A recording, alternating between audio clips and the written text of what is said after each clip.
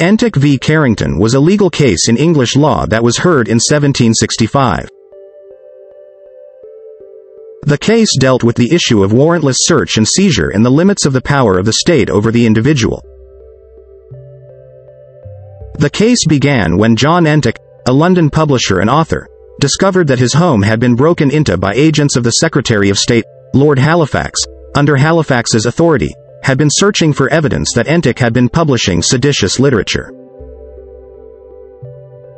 During the search, they seized numerous papers and documents, some of which were later used as evidence against Entick in court.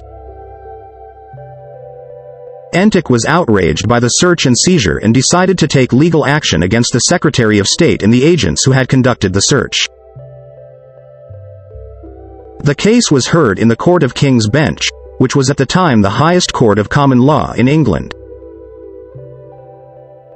The court was asked to determine whether the warrantless search and seizure was legal under English law. The court found in favor of Entick, holding that the warrantless search and seizure was illegal and that it violated Entick's rights as an Englishman. The court stated that the power of the state to search and seize property was limited by the common law and that the state could not exercise this power without a warrant issued by a court. The court's decision in Entick v. Carrington established the principle that warrantless search and seizure is illegal under English law.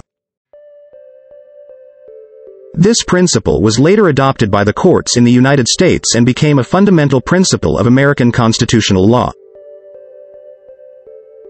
Entick v. Carrington is considered to be a landmark case in English law and its principles continue to be applied in contemporary legal cases. The case established the principle that the power of the state to search and seize property is limited by the common law and that the state cannot exercise this power without a warrant issued by a court. The case also had an impact on the development of the law of privacy. This principle has been applied in later cases dealing with privacy and has been used to establish the right to privacy in other areas such as telephone conversations and electronic communications. In summary, Entick v. Carrington was a landmark legal case that established the principle that warrantless search and seizure is illegal under English law. The power of the state to search and seize property is limited by the common law, and that the individual has the right to be protected against unreasonable searches and seizures.